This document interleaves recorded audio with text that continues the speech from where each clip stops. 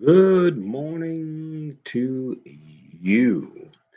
It must be 5 a.m. East Coast time because it's time for another edition of Hardison's Tips. I'm your host, Brandon Hardison, on this 22nd day of December of 2020 in the year of the coronavirus but we're making it through. So we give informations to our brothers in key account, major account, up and down the street, in home sales, whatever it takes, all the way up to auto- automobiles.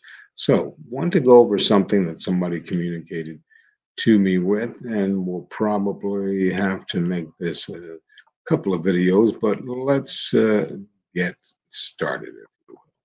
So, we want you to focus in on our good brothers and sisters that are door to door salesmen, like myself.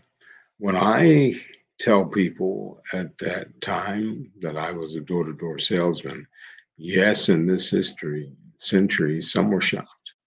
They didn't even know the kind of work still exists. Now, granted, rare, the best sales education I could receive is knocking on a door to sell books taught me an invaluable lesson that applies to every sales. There's no question that these lessons helped me co-founded an organization, Champion Strategies, which we still work from today. So here is some tips. Get to know faster you'll be rejected often. There's no way around it. No one has a 100% close ratio. When I was knocking on doors, one person called the police on me. Others told me to get off of their, you know what, grass. A colleague once said that you need to be a guy to come to the door with a gun. That's what you're envisioning. But most people are too polite. They let you make your pitch, and even if they have no interest in buying, and that's the problem on its own.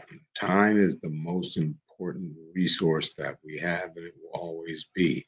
But at first, you tend to waste time by staying too long with people who aren't going to buy. I've made this mistake in my past. Then I learned to set rules for myself no more than 20 minutes at anyone's home. A crucial way to make this happen is to help people feel comfortable saying no. I'll repeat that again. Making customers feel comfortable in saying no. I chat with prospects first. Then, before a demonstration of the books that I was selling door to door, I would say, I think I understand what your problems are. And here's how we can help. I'll show you what I have in here and just let the weather just keep flowing.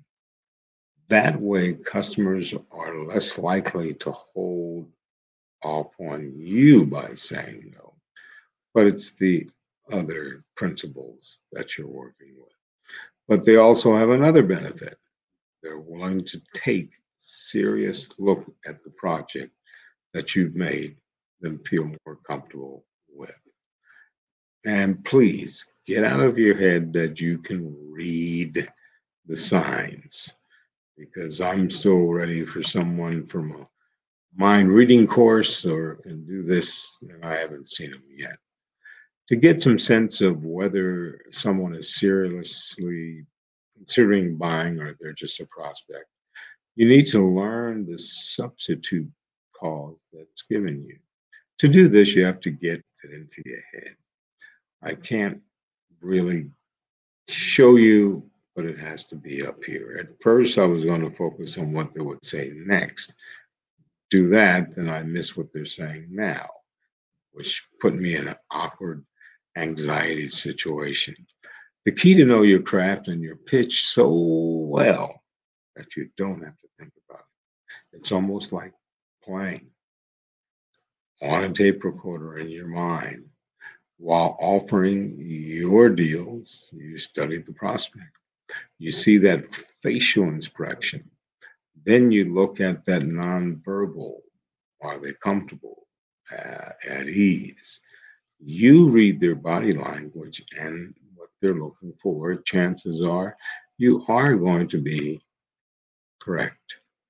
And then the last thing for this meeting all of these things just apply as much to dedication, that keyword dedication, to people's manners, mannerisms. And once you get to know how they take in information, or linguistic programming, you stop your personality and you start presenting them how they're comfortable, whether it's auditory, whether it's visual, whether it's a little bit of kinesthetic. If some of that makes sense to you, once again, Brandon Hardison, President of Champion Strategies, with our ongoing series on public speaking. And as always, in parting, you go out and make it a champion day.